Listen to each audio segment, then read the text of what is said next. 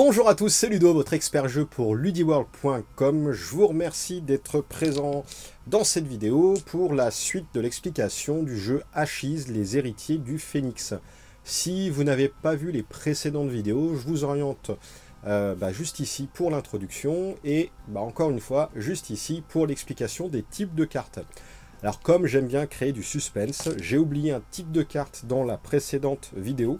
Euh, ça se trouve, j'en ai peut-être oublié un autre, mais je ne pense pas.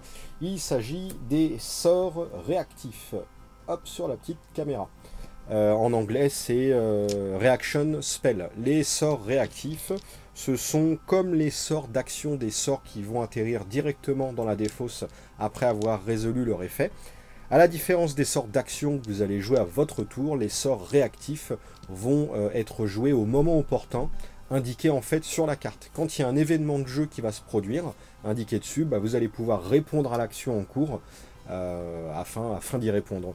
Donc ça peut être euh, un contre-sort, ça peut être si je te prends des dégâts, je les redirige, si je prends des dégâts, bah, je les préviens, voilà, ce genre de choses. Il y a un événement qui déclenche, vous jouez la réaction et vous agissez sur cette réaction. Il y a, euh, à la différence des autres jeux comme The Spoils ou Magic, il y a très peu, euh, en tout cas pour l'instant, d'effets qui s'imbriquent les uns dans les autres. Il n'y a pas vraiment de système de pile avec un effet qui rentre dans la pile, puis un autre, puis un autre, puis un autre, et après on dézippe dans le sens inverse. C'est un jeu qui est très séquencé, un petit peu comme les échecs, où il va y avoir une action, puis une autre, puis une autre, puis une autre, en ping-pong euh, d'un adversaire, d'un joueur à un autre. Et du coup, des effets qui viennent interagir à l'intérieur de ça, il y en a très très peu. Ça facilite euh, la compréhension du jeu. Euh, malgré tout, bah, quand il y a une réaction, on la sent passer. et puis du coup, ça crée un tempo vraiment différent où...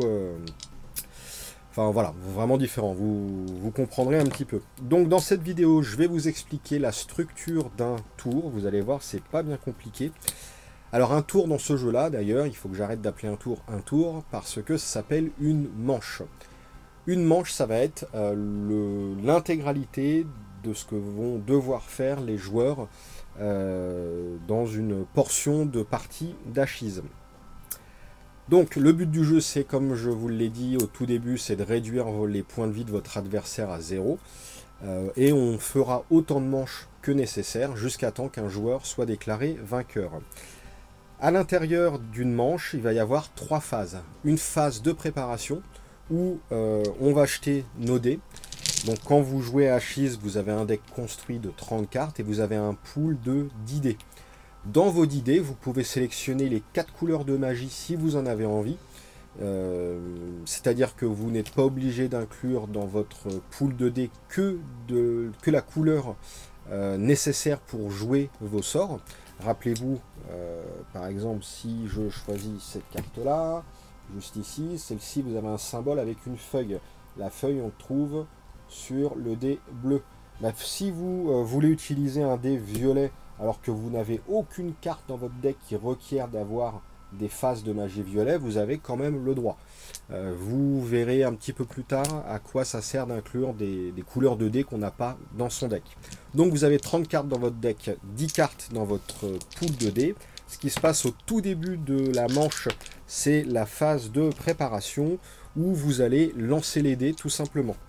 Donc euh, je vais faire un petit peu de place sur la J'aurais dû m'y préparer un petit peu avant. C'est pas grave, je vais accélérer la vidéo.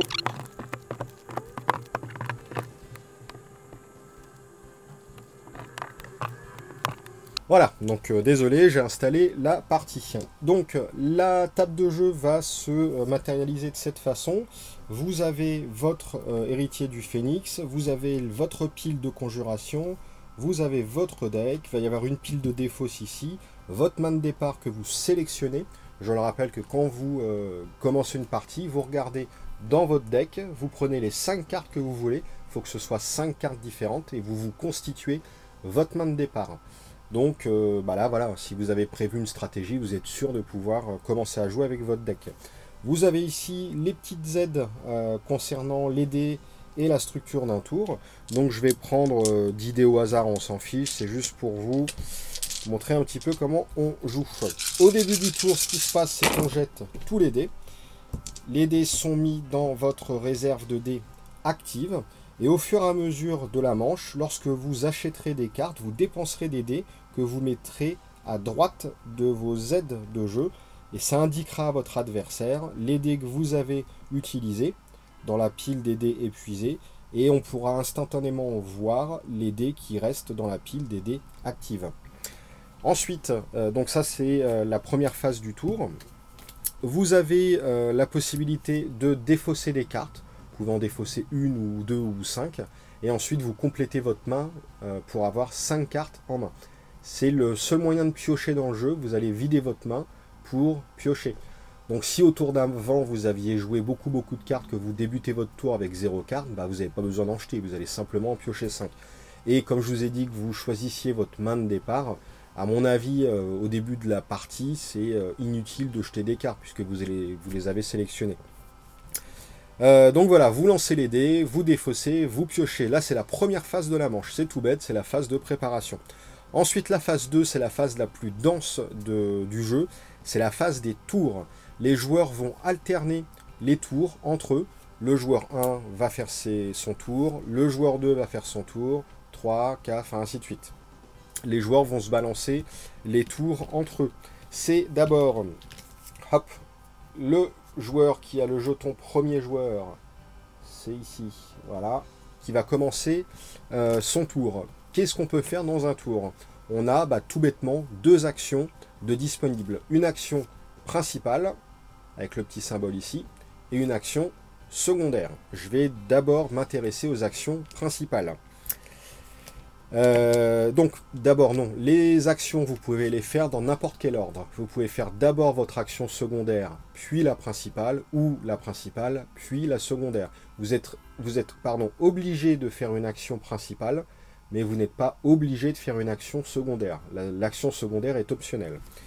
Qu'est-ce que l'on peut faire dans une action principale? Vous avez euh, quatre choses possibles. Vous pouvez jouer une carte, ou dépenser euh, un symbole d'action, donc le fameux symbole que vous avez vu, qui est présent sur une de vos cartes en jeu. Vous allez voir que c'est un petit peu la même chose. Lorsque vous jouez une carte, voilà, je vous avais expliqué ici qu'il y avait le coût des cartes d'indiquer. Alors c'est vrai, vous avez ici les symboles, ce sont les symboles des dés que vous allez devoir utiliser pour payer la carte, mais vous avez également ici le symbole d'action principale. Et vous allez voir que 90%, enfin j'en sais rien, je ne les ai pas comptés, mais énormément de cartes, la quasi-intégralité des cartes du jeu, euh, consomment une action principale pour être jouée. Donc c'est la première action possible, vous jouez une carte. Une fois que la carte est en jeu, euh, par exemple, vous avez ici ce sort préparatoire, donc vous payez une action plus une feuille pour le mettre en jeu. Une fois que c'est en jeu, vous allez pouvoir utiliser son effet. L'effet ici doit être activé en dépensant une action principale. Donc voilà la première utilisation de son action, c'est jouer des cartes et utiliser des cartes. La deuxième action possible, et la troisième action possible, vous allez voir que c'est à peu près pareil, c'est l'attaque. Vous allez pouvoir attaquer soit votre euh, l'héritier adverse, c'est une action possible, soit attaquer une de ses unités, c'est une autre action possible d'attaque. Une unité dans ce jeu-là, c'est soit un allié, soit une invocation on désigne par le même terme deux choses différentes. Un héritier n'est par contre pas une unité. Euh, c'est important pour les euh, certaines cartes qui ciblent une unité, euh, voilà, ça ne ciblera pas un, héritier. Et la dernière chose qu'on peut faire dans le jeu, parce que ça arrive des fois, on a tellement joué de choses qu'on ne peut plus rien faire, c'est passer. Lorsque l'on passe, ça génère un, en fait, dès que deux joueurs passent consécutivement leur action principale, ça déclenche la fin du tour.